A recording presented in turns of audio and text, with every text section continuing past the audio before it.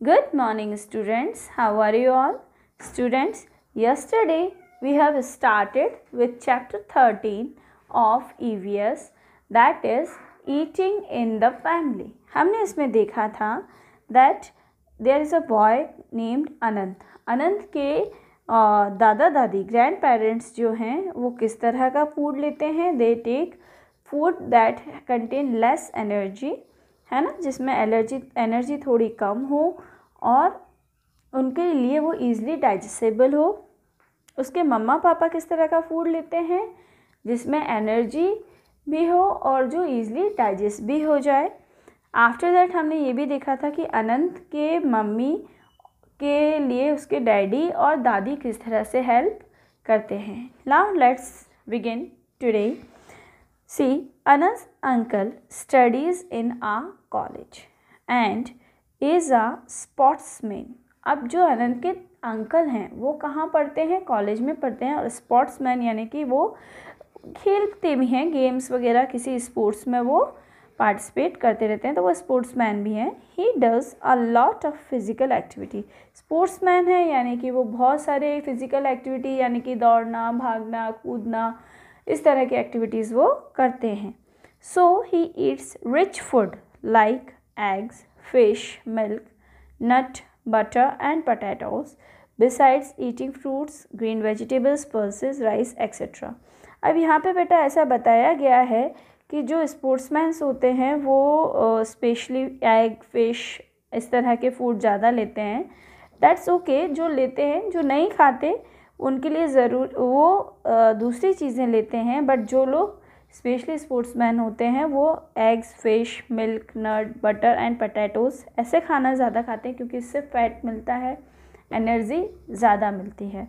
Anant is a very active child और अब हम बात कर रहे हैं अनंत की। अनंत कैसा लड़का है?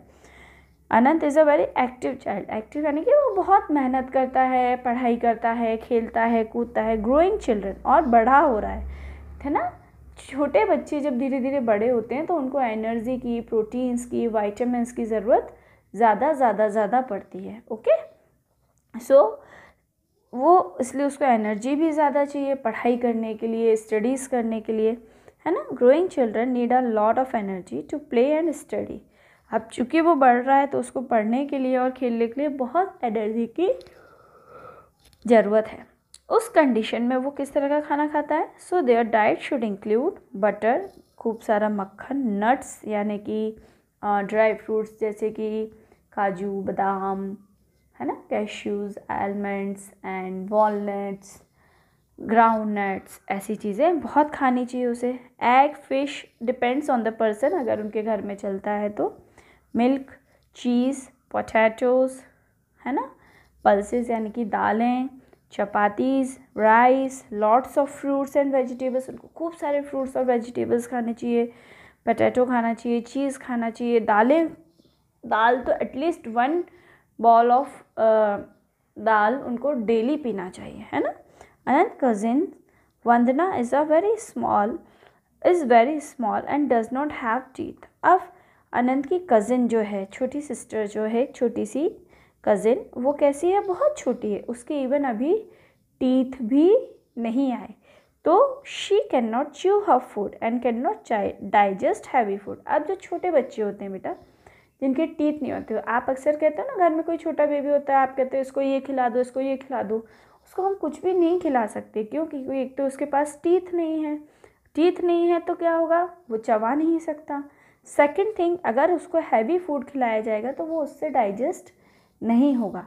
तो उसके लिए हम क्या देंगे? Specially she is mostly fed on milk and semi solids अब मिल्क या सेमी सॉलिड सेमी सॉलिड का मतलब क्या होता है? ठोस खाना नहीं, हल्का फुल्का लाइक दलिया, यानी कि पॉरेज या फिर बनाना शेक दाल मैश करके, है ना? Mashed banana dal mashed potato ऐसी चीज़ें हम उसको दे सकते हैं। अब देखते हैं Anand's mother tell him that as Vanna grows up she will get milk teeth अब आनंद की मम्मा ने आनंद को बताया कि जैसे जैसे वंदना बड़ी होगी, उसके मिल्क टीथ यानी कि दूध के दांत आ जाएँगे।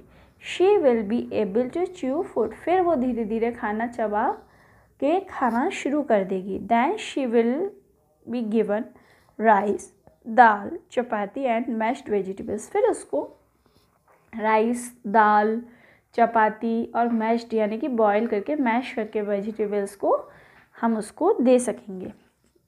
But even then Anant and Vandana will have to drink milk at least twice a day because it is a it is good for growing children अब बताओ, आप लोग सबसे ज़्यादा मम्मी को परेशान करते हो मिल्क पीने में, है ना? But it is very bad सब बच्चों को, जो भी बच्चे बड़े हो रहे हैं, सब बच्चे बड़े होते हैं और हमको अगर बड़े होना है स्ट्रॉन्ग बनना है तो हमारे लिए मैंडेटरी है कि एटलीस्ट हम दिन में टू टाइम्स है ना? टू टाइम्स हमको मिल्क पीना ही पीना है। One time in morning and one time at night okay students हमारा चैप्टर यहाँ ख़त्म हो गया है। Tomorrow we will do its exercise okay till then bye bye take care